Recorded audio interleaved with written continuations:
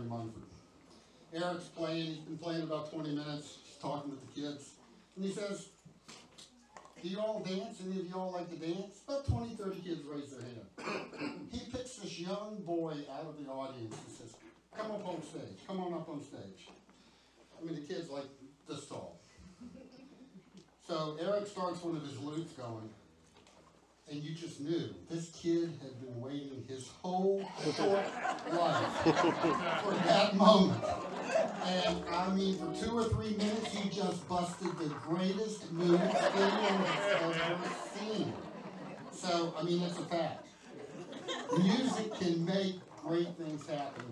And thank goodness for people like Eric and Daniel and these gentlemen that go out and do it. So, more power to them, let's